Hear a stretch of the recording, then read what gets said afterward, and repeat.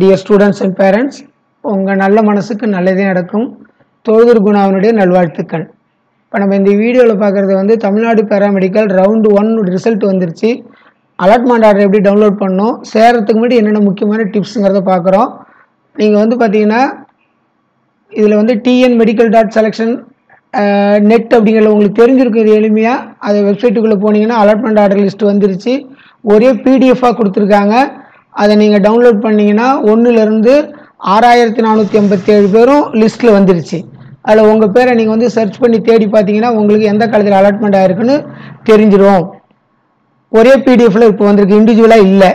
அதுக்கு அடுத்தது இதில் சேர்றதுக்கு முன்னாடி என்னென்னலாம் முக்கியமாக பார்த்துக்கணும் அப்படின்னு சொல்லி கேட்டிங்கன்னா விழுந்தாங்க ஃபஸ்ட் ரவுண்டில் நம்ம கலந்துக்கிட்டு இப்போ சீட்டு கிடைச்சிருச்சு நம்ம டவுன்லோட் பண்ணிட்டோம். தற்காலிக ஒதுக்கீட்டு ஆணையை நம்ம வந்து அதாவது வந்து இந்த ப்ரொஃபஷனல் ஆர்டர் வந்து நம்ம டவுன்லோட் பண்ணிட்டோம் அப்படின்னா நீங்கள் செகண்ட் ரவுண்டுக்கு நம்ம வர முடியாது. இந்த ஃபர்ஸ்ட் ரவுண்டோட சரிதான் அடுத்தது இந்த முதலாவது ஃபர்ஸ்ட் ரவுண்டில் எடுத்துட்டு நீங்கள் அந்த குறிப்பிட்ட காலேஜில் அல்லது எந்த கவர்மெண்ட் காலேஜோ கவர்மெண்ட் மெடிக்கல் காலேஜோ தனியார் காலேஜோ போய் அந்த குறிப்பிட்ட நாள் அண்டு டேட்டுக்குள்ளார டைம் அண்டு டேட்டுக்குள்ளே சேர்ந்துடணும். அந்த சேரல அப்படின்னா அந்த இது ஆட்டோமேட்டிக்காக உங்களுக்கு கேன்சல் ஆகிடும் உங்கள்கிட்ட சொல்லலாம் மாட்டாங்க நீங்கள் வரலையான்லாம் கேட்டுக்கிட்டு இருக்க மாட்டாங்க.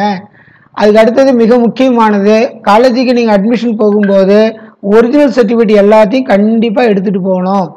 ஒரிஜினல் சர்டிஃபிகேட் கண்டிப்பாக இருக்கணும். அதோட ஜெராக்ஸ் எடுத்துகிட்டு போகணும்.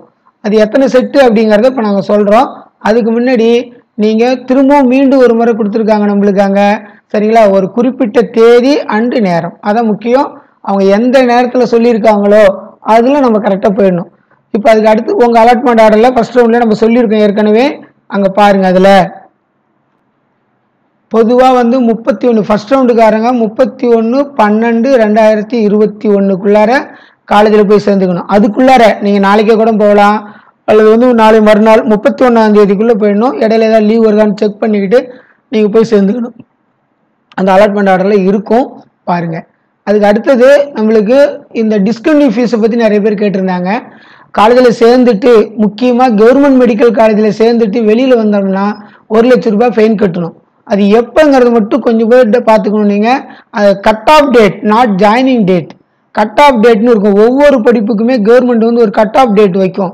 அந்த கட் ஆஃப் டேட்னா அதோட அந்த வருஷத்துக்கு அட்மிஷன் முடிஞ்சிடும் அப்புறம் கவுன்சிலிங் இருக்காது சேரவும் முடியாது மேனேஜ்மெண்ட் எந்த சீட்லையும் சேர முடியாதுன்னு ஒரு டேட் வச்சுருப்பாங்க.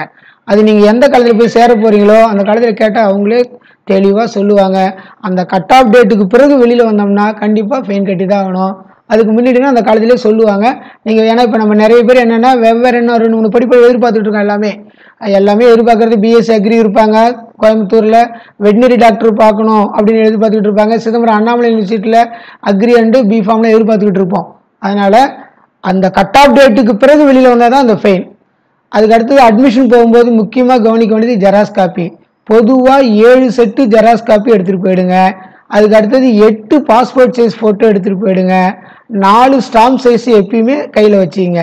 இது பொதுவாக மஸ்ட் எல்லாமே. அதுக்கு அடுத்தது அலாட்மெண்ட் ஆர்டர் இப்போ நீங்கள் எடுக்க போடக்கூடிய அந்த அலாட்மெண்ட் ஆர்டரை நீங்கள் கண்டிப்பாக கலர் ஜெராக்ஸ் எடுத்து வச்சுங்க. இந்த கலர் ஜெராக்ஸுங்கிறது ஒரு ஆறு ஏழு கூட எடுத்துக்கலாம். ஏன்னா நீங்கள் இதுக்கு பிறகு நடக்கக்கூடிய பேங்க் லோனாக இருந்தாலும் சரி அந்த உழவு பாதுகாப்பு திட்டத்தில் நீங்கள் வந்து அந்த அப்ளை பண்ணுறதா இருந்தாலும் சரி வேறு எந்த ஸ்கீமில் போய் நீங்கள் பண்ணுறதா இருந்தாலும் அலாட்மெண்ட் காப்பி கேட்பாங்க. அது இப்போல்லாம் கண்டிப்பாக கலரில் கேட்குறாங்க. ஸோ நீங்கள் அதை கலரில் எடுத்து வச்சுருங்க.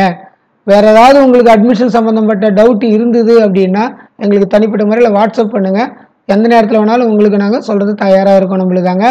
இந்த கோர்ஸ்னு இல்லை ப்ளஸ் டூக்கு பிறகு எந்த படிப்பாக இருந்தாலும் கல்வி சம்மந்தப்பட்ட எந்த டவுட்டாக இருந்தாலும் இந்த நம்பருக்கு வாட்ஸ்அப் பண்ணிங்கன்னா உங்களுக்கு பதில் சொல்லுவோம். மீண்டும் ஒரு முறை உங்களுக்கு வாழ்த்து கூறி உங்கள் நல்ல மனசுக்கு நல்லதே நடக்கும். நன்றி வணக்கம்.